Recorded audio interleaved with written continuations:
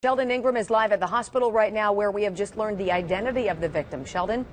Yes, we're live at UPMC Presbyterian Hospital where 47 year old Thomas Weisenberger is now trying to recover from those injuries suffered from this devastating accident. We're still working the phones trying to get the latest on his condition, but here is the scene now on Georgetown Road in South Beaver Township uh, earlier today, and there you can clearly see the broken windshield on the car. That is from the impact from when Weisenberger's body was thrown onto the car after the car collided with his lawn tractor. Police are telling us they're still trying to piece together how this bizarre accident happened altogether.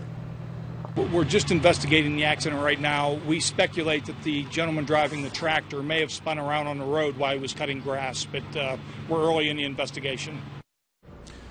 And police are telling us that the driver of the car was 18 year old Leroy Schoaf, who was not injured. And at this time, police do not know if charges will be filed. In the meantime, they're still waiting on the condition of Weisenberger here at UPMC Presby in Oakland. Reporting live, Sheldon Ingram, Channel 4 Action News.